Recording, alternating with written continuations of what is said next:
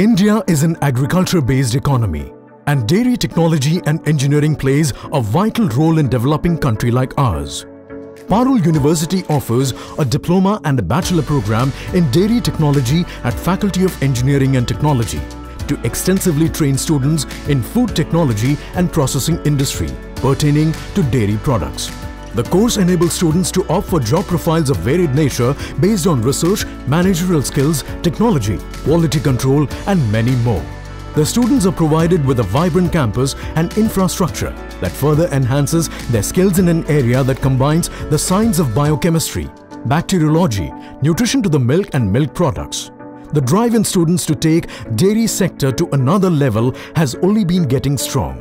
The university has been placing students at prime recruiters in dairy industry at prominent designations. Parul University, Vadodara, Gujarat.